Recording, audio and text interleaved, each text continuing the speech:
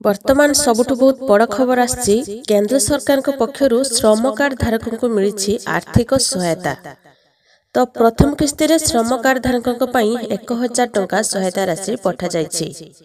ଯୋଗ୍ୟ ହିତାଧିକାରୀଙ୍କ ଆକାଉଣ୍ଟକୁ ଡିବିଟ୍ ମାଧ୍ୟମରେ ଏହି ଅର୍ଥ ରାଶି ଟ୍ରାନ୍ସଫର କରାଯାଇଛି। ଅଣସଂଗଠିତ କ୍ଷେତ୍ରରେ କାମ କରୁଥିବା ସମସ୍ତ ଶ୍ରମିକମାନଙ୍କୁ ଏହି ଧାରାରେ ସାମିଲ କରାଯିବ। ତେବେ କିଛି ଶ୍ରମିକଙ୍କ ଖାତାକୁ ଏହି ପଇସା ଆସିନାହିଁ। ଏହି ଅର୍ଥ ରାଶି ଯଦି ଆକାଉଣ୍ଟକୁ ଆସିନାହିଁ ତାହେଲେ ଆପଣ ଯୋଗ୍ୟ କି ନାହିଁ ତାହା ଶ୍ରମିକ ୱେବସାଇଟ୍ ଯାଇ ଚେକ୍ କରିନିଅନ୍ତୁ।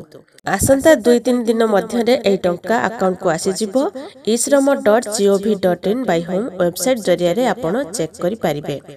ଦ୍ୱିତୀୟତଃ ଆପଣଙ୍କ ରେଜିଷ୍ଟର ନମ୍ବରକୁ ମେସେଜ ଆସିବା ପରେ ଆପଣ ଉଠାଇ ପାରିବେ ଅଥବା ଆପଣ ନିକଟସ୍ଥ ବ୍ୟାଙ୍କକୁ ଯାଇ ମଧ୍ୟ ଚେକ୍ କରିପାରିବେ।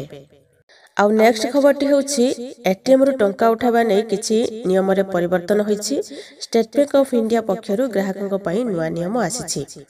ତେବେ ଷ୍ଟେଟ୍ ବ୍ୟାଙ୍କ ଏଟିଏମ୍ ଧାରୀ ଏଥର ଏଟିଏମ୍ରୁ ଟଙ୍କା ଉଠାଇବା ସମୟରେ ଏକ ଓଟିପି ପାଇବେ। ଓଟିପି ଦେବା ପରେ ଏଟିଏମ୍ରୁ ଟଙ୍କା ମିଳିବ। ଏଟିଏମ୍ ଠକେଇରୁ ଅଟକାଇବା ପାଇଁ ଏହି ନିୟମ ହୋଇଛି। ତେବେ ଦଶ ହଜାରରୁ ଅଧିକ ଟଙ୍କା ଉଠାଇଲେ ଏହି ନିୟମ ଲାଗୁ ହେବ। ଟ୍ୱିଟ୍ କରି ଷ୍ଟେଟ୍ ବ୍ୟାଙ୍କ ପକ୍ଷରୁ ଏହି ସୂଚନା ଦିଆଯାଇଛି ଦଶ ହଜାରରୁ ଅଧିକ ଟଙ୍କା ଉଠାଇବା ସମୟରେ ଫୋନ୍ ନମ୍ବରକୁ ଏକ ଓଟିପି ଆସିବ। ଏହି ଓଟିପି ଏଟିଏମ୍ ମେସିନ୍ରେ ଟାଇପ୍ କରିବା ପରେ ଟଙ୍କା ଉଠିବ।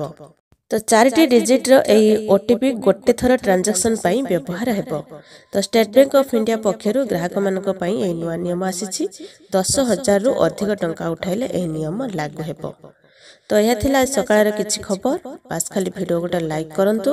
ଆଉ ଆମ ଚ୍ୟାନେଲକୁ ସବସ୍କ୍ରାଇବ୍ କରି ପାଖରେ ଥିବା ବେଲ୍ ବଟନ୍ କ୍ଲିକ୍ କରିଦିଅନ୍ତୁ।